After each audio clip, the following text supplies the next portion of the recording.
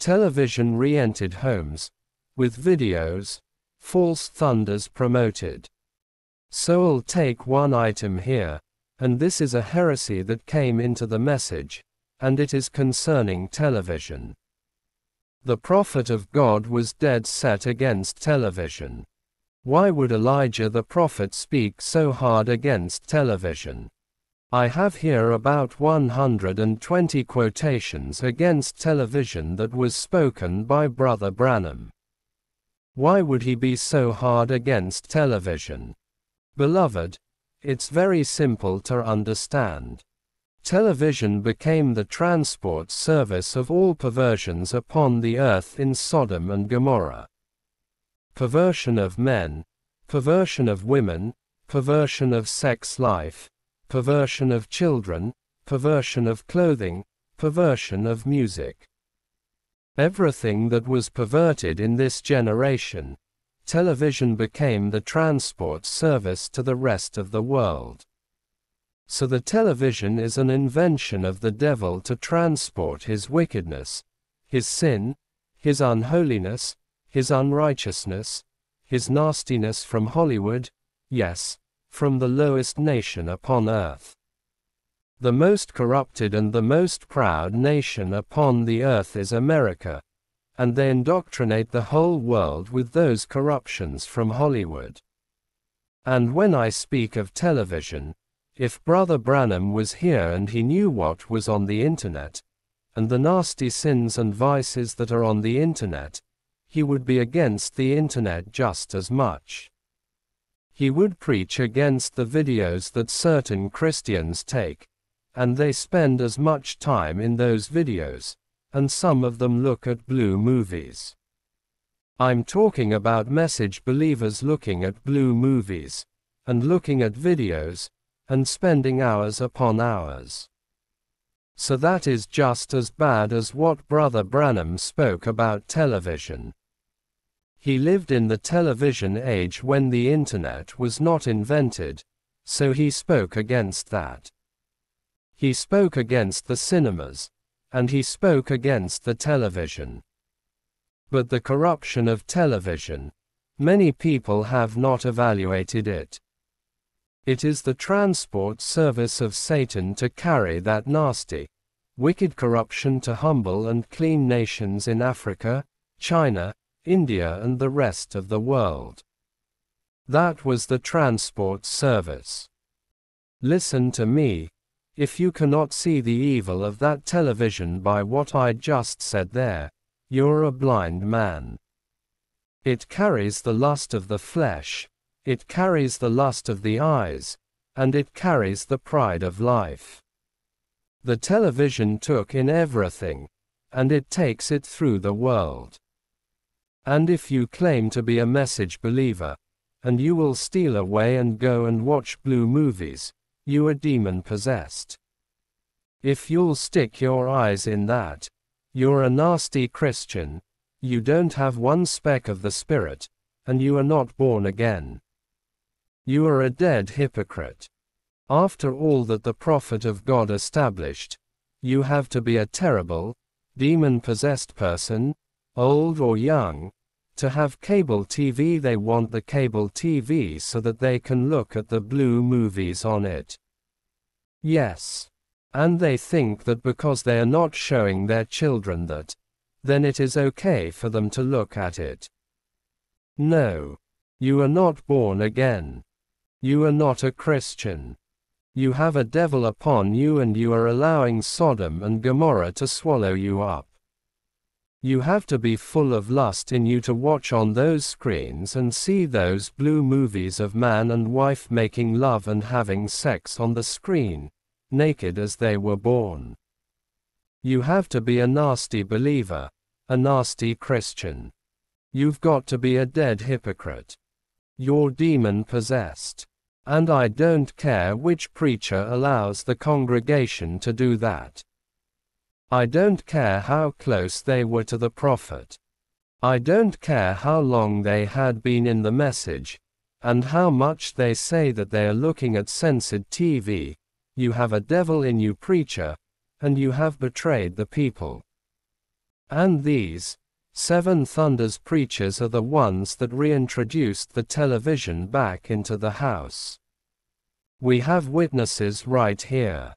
We have a minister that used to preach with them. We have people that used to follow them. We have a deacon here that used to follow them. Everybody had televisions in their homes. When they heard the holiness message, they repented and they're seated here this morning. Oh yes. Brother Branham was dead set against it and the reason he was dead set is because it transported everything that is immoral and everything that is perverted. Everything of the world you can see on that. And if you have your internet and you secretly log on to those kinds of things on the internet service, you're a dead hypocrite. A woman made a child right on the internet. Had her right there making a child that anybody could see. Skin up, naked, made a child that the whole world could see on the internet. You rotten, filthy Jezebel. Jezebel is a holy queen in front of that woman. Yes, sir. It's a horrible thing. And for you to be in that internet looking at those things, I tell you, you've got to have a spirit. And for you to buy movies, have them in your house and secretly look at them, it's as good as watching television. Yes. You have the same devil inside of you. Yes. That television got popular the same time that the world came to the age of free love. The age of free love was in the 60s, about the time of the opening of the seals, when those demons were loosed on the earth. And that television carried free love to the rest of the world, to show the whole generation, educate them about homosexuality, educate them about fornication, show them that it is nothing, it is acceptable. They brought those things that were confined to the bedroom right on the screen, right out into the public. That television became a teacher. That television educates the people, and it educates them how to have sex right out in the open in the car parks and how to make love in public. All these people that were backward in the West Indies, backward in Africa, they behave worse than the Americans and worse than the Hollywood stars. That stinking devil got upon them. Like dogs, right in the mall, right in those business places. Stinking hypocrites. This world, God is going to burn it. Yes, sir. And he promised to burn it. For, behold, the day cometh, that shall burn as an oven, and all the proud, yea, and all that do wickedly, shall be stubble, and the day that cometh shall burn them up, saith the Lord of hosts. Malachi 4. 1. And any hypocrite under this message will burn with it too. Yes, sir. People under this message take chances with their souls and act very pious. How could you have your head in a television and come out right? No. You've got to be demon possessed. Yes, sir. So he was against that television with all his heart because it was the age of free love, and that age of free love used the media of television and magazines to transport that throughout the world and corrupt Indians, corrupt the Chinese, corrupt the Negroes and corrupt the white man throughout the world. You want to tell me that that thing is of God. And these preachers, when they got the thunders, their thunders told them to bring it back into the people's homes. You are corrupted. Yes. And they made a heresy with it. They found one quotation of Brother Branham, and I am going to read it. All the thunders preachers and all that look at television, they rely upon one quote of Brother Branham to support their television viewing. And I want to show you that it is the serpent that's twisting the word and twisting the message. It is an evil nature that is grabbing at some excuse to do what is not right, and ignore all that the prophet of God said and want to hold on to one quotation. I quote to you from Question and Answers in 1959. Television one of the most damnable things to the human race. The first question tonight. Brother Branham, I think television is a curse to the world. What do you think about it? Well, ever who wrote it, I'm going to agree with you. They have made it a curse to the world. It could be a blessing to the world, but they've made it a curse. Anything like that, my dear people, is what you look at yourself. If television is a curse, then the newspaper is a curse, then the radio is a curse, and many time the telephone is. See, see, see, see. It's what you make out of it. But being that the brother said the other night, that there's hardly any programs on the television anymore, that's too much money. A poor preachers that preaches the full gospel can't afford a program on the television. So therefore, brother said the other night, I believe, somewhere, said, dust off your radio, or somebody, or, bring it back out of the corner and listen to them programs. That's right. But, dear person, ever who you are, I certainly agree with you. It's become one of the most damnable things to the human race. Question and Answers on the Holy Ghost. The 19th of December 1959. They rest on this quotation where Brother Branham said that he agreed with a brother that it is a curse to the whole world, and Brother Branham said, well, it could have been a blessing, but they made it a curse. He said, But you know, it's what you look at yourself, and besides that, it's what you make out of it, and there is hardly any program on the television anymore that you can look at. He said, The preachers are too poor to put on a program on the television. So, they took this quotation and ignored a hundred and something, where, Brother Branham said, it's what you make out of it. In other words, they want to take the curse of the world and make something good out of it, when he himself said that there is hardly anything you could look at.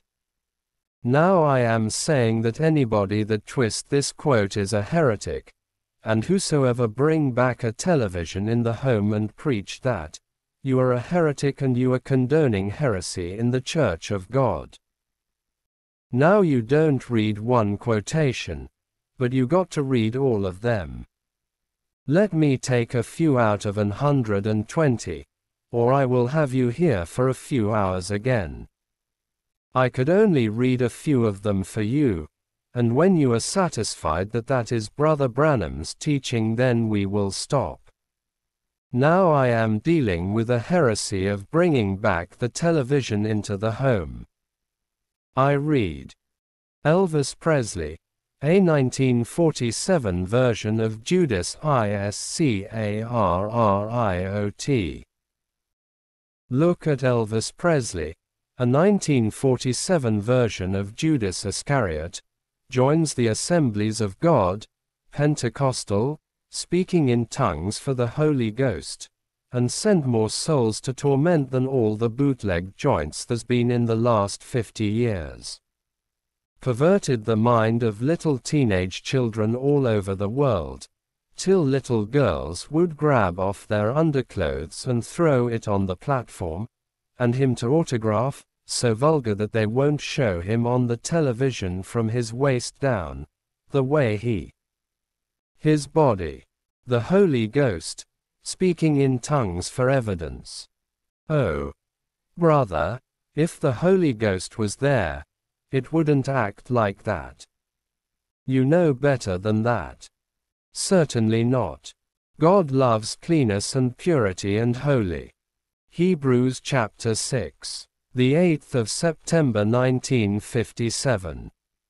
Attracted by television, they're not truly born again. And that's what's the matter today. All the nation goes into sin.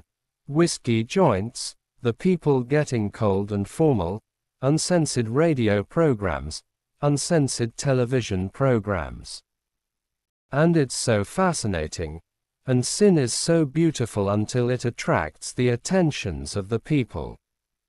And if they're not truly born again, where their attraction is on Christ and single minded, they'll go after that stuff. They'll act like those people. And the spirit of that will get on them. It used to be the old Pentecostals wouldn't let their children even go to picture shows. The devil pulled one over on their eyes. He brought the picture show right in the house. That's right. Balm in Gilead. The 18th of February 1961. Is that right? There we are. Anybody that is in a television and have their head in a television, is not born again according to the prophet, right on this quotation. You are not born again. If you are taking chances and you are watching television and you are in the internet and in the magazine, or whatever you are doing, it shows you are not born again of the Spirit. So perverted preachers that allow these things in their churches are not born again to bring back that in the house of God you are not born again. Some people think that they will take the television and they will monitor it for their children, and they would only look at certain things.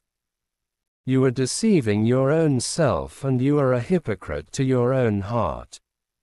You know better than that. You will be watching the wrong thing sooner or later. Okay. I'll read here. You are presuming you got the Holy Ghost. You that claim you have the Holy Ghost, and you that's got long hair, and wear your dresses neat and everything like that, and you'll stay home on Wednesday night to watch a program, a television program, instead of going to church to prayer meeting, you're presuming you got the Holy Ghost. For when the Holy Ghost is in there, the love of God is so constrained in you, till you just can't stay away from the people. You that has to be forced to prayer. Presuming.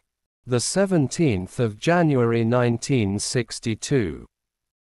You don't have the Holy Spirit according to the message of Brother Branham even though you have a long dress, and even though you have long hair, and even though you dress neat, and you will stay home to look into that television.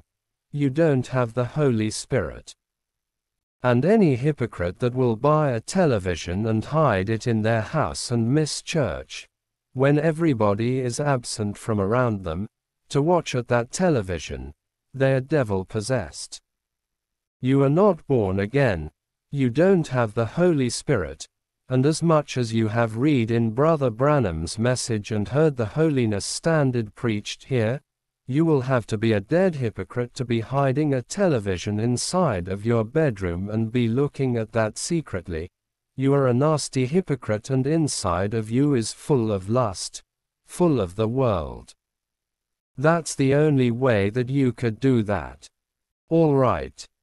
It shows what kind of spirit's in you. Look what we want. Look at our television. That's what we want. We want some of these comedians to stand up there and turn all kind of dirty jokes, and we stay home from prayer meeting on Wednesday night, or the preacher'll let out early so that you can go and see it.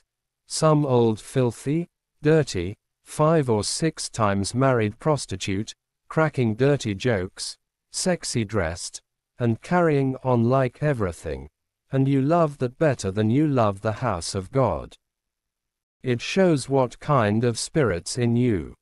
Way of a True Prophet. The 13th of May 1962. It's not me being hard. It is not I being legalistic. If you condemn me as a legalist, then Brother Branham was one. I am saying what the prophet of God said. You got to have a dirty, nasty ghost in you to have your eyes in that television.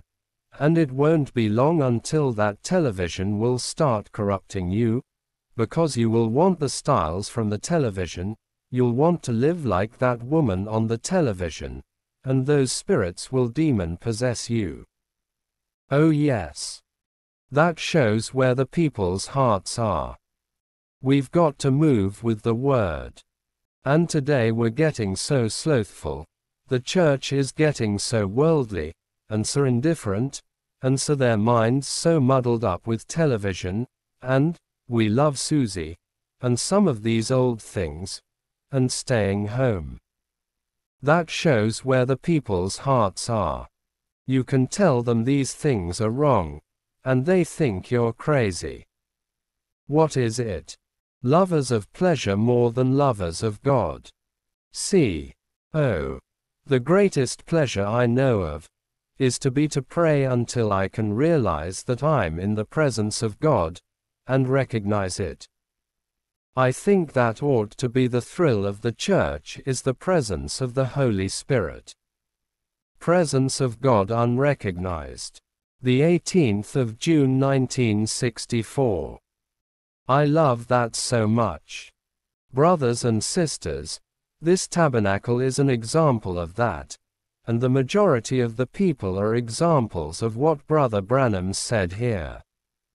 Our joy does not come from a television nor sports, nor worldly singing, nor all these things. Our joy is the presence of the Lord.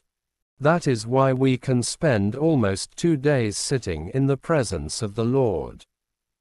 That is why we can sing that song for three quarters of an hour without stopping, in His presence. Yes. And the songwriter said, In His presence, then I am strong. And that song has not grown old. It is our joy, it is our peace, and when you can enjoy the presence of God in the service like that, and you become part of it, and you just worship, and you just weep before Him, and it breaks your heart, and you could come out and say, That was a mighty service, and you feel the presence of God and know that He is standing amongst us, then you are God's people, then you are striving to fulfill the holiness message. But Christ cannot come where they have changed these holiness standards. The Holy Spirit has taken its flight from many assemblies. They have grieved away the Holy Ghost, and they must find new entertainment for the people. If they don't find entertainment for the people, the people would leave the church, so they've got to give them back the televisions because the preachers live unholy and the people live unholy. The people became corrupted and the preachers became corrupted. Therefore, when the Holy Ghost is not in the house of God, you got to have programs. You got to take them to the sports field. You got to have one of the deacons as a captain. Yes, sir. You have to organize hikes. You have to organize camp meetings, and you have to give them the televisions. So now, when you live contrary and drive the Holy Ghost out of the house of God, the preacher must substitute programs. When they brought in the Thunders heresy, God was offended with that wicked doctrine of perverting the greatest revelation on earth. The Holy Spirit took its flight, then they had to bring back worldliness in order to keep the people in the church to mind the preachers, mind these hypocrites. They want the tithes, they want the offering, but they want to lead the people of God to hell. That's the truth too. Satan deceived her by television. And that is just exactly what's happened today. She's been deceived by television, by magazines, by these people, these, all these fine things that they're going out on the streets. Modern girls, They look at magazines, and they look at pictures, they look on the streets, they see the clothing in the shops. How Satan, that great instrument of hell has come down amongst the people and deceived them into these things. And the woman thinks she's all right. And she's dead and don't know it. She's far from God. Invisible Union of the Bride. The 25th of November 1965. Television. The very pits of hell. And we just put up with anything that's evil and call it religion. Oh. Well, we go to church. Go right home. Stay home on Wednesday night and watch the television. The very pits of hell. Seven Church Ages. The 12th of May 1954. When you look into a television, you're looking into the very pit of hell. Won't never be one in my home God told me not to do it. We don't have television. There won't be one in my home, never. You want them, that's up to you. But God told me not to do it. Power of Transformation. The 31st of October 1965. Don't want that evil thing in my house. We rent from a woman that has the television in her house. I never intend to have one in my house. No, sir. I don't want that thing in my house. I'd blow it out with my shotgun. I don't want nothing to do with that evil thing. No, sir. But took a God's power to transform the 11th of September 1965. Yes, sir. God told his prophet not to have one. He said he would blow it out with a shotgun, but the thunders preachers blow it in. They blow it into the church. These preachers blow it right into the houses of the people. Oh yes. Now there are so many quotations, about a hundred and twenty quotations on television here alone. I would just paraphrase some of these where Brother Branham is speaking against television. He said, I will blow it out of my house with a shotgun. He say, it's the cause for impersonation. He said, it's controlled by Satan. The television corrupts our children. The television corrupts the world. He said, television is death. Television is dirty food. All that you have on the televisions are dirty programs. He said, you need to sacrifice that TV. Comma. Elvis Presley is a modern Judas. And it give false comfort. Hebrews chap. 3 the 1st of September 1957.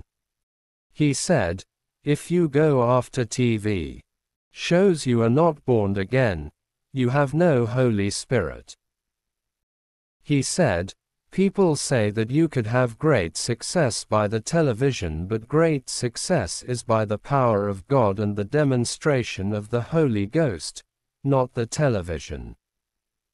Television is a hellivision. It hinders the blessings of God. Comma. Hollywood took over the pulpits. And that is what happened. Television took over the pulpits in the assemblies of the message. He said, the Holy Ghost moved out on account of the television. He said, I have none. The church is impersonating the dressing and the hair styles of the movie stars. Comma. There is a television in every house. It influences the soul. I was never on television. Dot. He said, keep away from television. Look to Christ, not television. People love televisions and they view it and they love television more than God. It produces madness. television caused sickness and mental insanity. It caused children mental deficiency. And the Methodist had a rock and roll party on the television. He said, You now have the movies in your home when Pentecostals would not go to the theater house.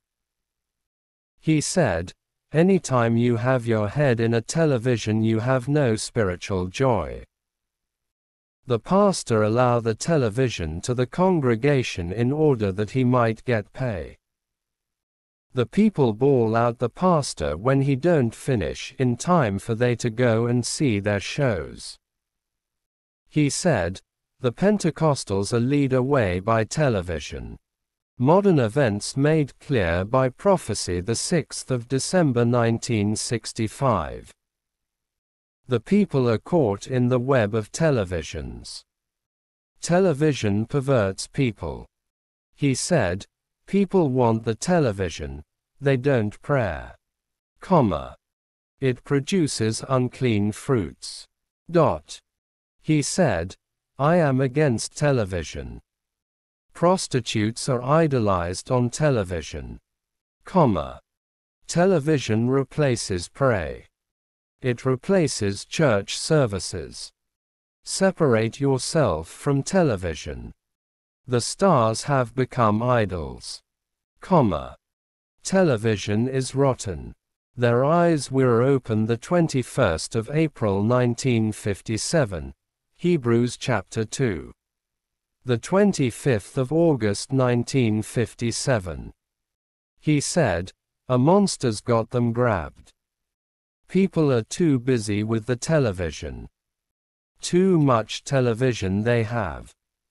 They're looking at uncensored programs.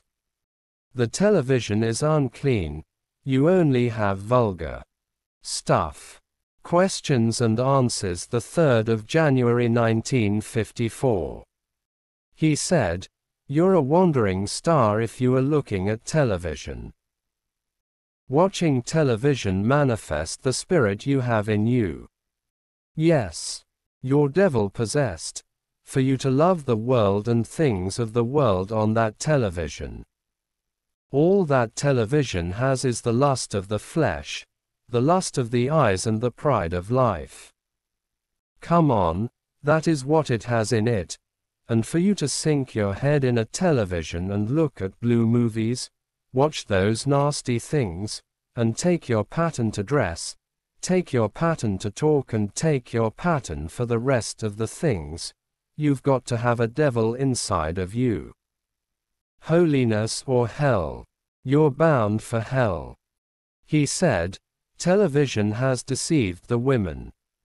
He would not sell his birthright for a television. And he said, Your old Adamic nature drifts towards the television. Tell me you could have one in your house now without breaking the word of God. Beloved, all that I quoted there came from about hundred and thirty quotations against television taken from 1953-1965, about 400 tapes, and they only have one quotation there where they think that they have a point, where Brother Branham says, It's what you make of it. I condemn this heresy as of the devil, I condemn this thing as of the world, and any preacher, whether he claims to preach thunders or don't preach thunders, and bring back that in the houses of the people, and that preacher has one into his house for his family to look at, is devil possessed. I don't care if he is a prophet, if he is a pastor, if he is a teacher or an evangelist or even, God come down, you're devil possessed. You want to tell me that after the prophet spoke on 400 tapes, that these men could pull out one quotation, rest upon it and try to fight everybody that teaches against television. Beloved, it shows that you are not born again as preachers, it shows that you don't have the Holy Spirit, it shows that you are a corrupted teacher and all that you could produce is corrupt fruit, right there. Let me ask you children, Do you think that the majority of the preachers that preach this message around the world and broadcast thunders could come and quote these quotations on the pulpit, like you hear me quote this morning? Let me hear your voices. Congregation says, No, no. They cannot handle those quotations. It would expose them as hypocrites, and it would expose them as perverters of the message. It will expose their thunders as being from the pit of hell. Any thunders that would bring back the television in the house, bring it back in the lives of the people and in the pastor's house, came from hell. Yes, sir. You are not born again. These stinking Hollywood stars bring their bedroom business in the open right on the screen, teach young men and young women, to do that in public teach men how to kiss one another in their mouth.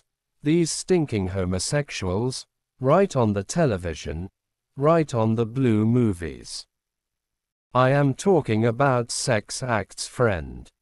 I went through New York once in my lifetime to see what it looks like, and I saw a big signboard said, Live homosexuality on stage. God will burn America. The prophet of God prophesied that. A little lower down, two buildings away, 25 cents to see a naked woman. Yes, friend, a naked female, 25 cents. 25 cents to see live homosexuality on stage. Yes, sir. Took me to another place. Only homosexuals living there. Man hugging up man, kissing 'em, holding hands and crossing the street. Only men, a whole big section, only homosexuals. Took me to a next place, only lesbians, a big section, women hugging up women, kissing kissing 'em, crossing the streets. They took me to a next place. They said, this is the prostitution area. Said, that is where the Trinidadians come down and get the diseases and bring them back to the Caribbean. Do you think that this world could continue in the state that it is in?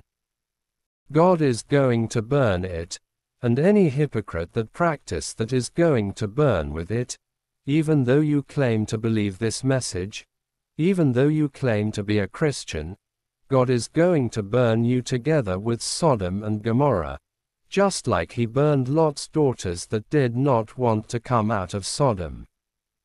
Yes, and what we are seeing today is Sodom and Gomorrah. Do you see that Sodom and Gomorrah spirit? Even though they came out of Sodom, that Sodom and Gomorrah spirit was upon Lot's daughters. Did you ever think of that? They came out of Sodom, but the spirit of Sodom was still in them. People came out of organization but Sodom spirit's still in them. People follow this message but the Sodom spirit's still in them. What do you think caused those two girls to go live with their father? It's a sodomite spirit, a spirit of incest, and any man that commits incest, he's got to be devil possessed. You have more guts than a bully to lay with your own daughter. You're a nasty human being. You make me feel to vomit when you could live with your own daughter. When a mother could live with her own son, I had confessions overseas. A big man came and told me, I have something I've lived with for my whole life, preacher. I want to get it off my chest.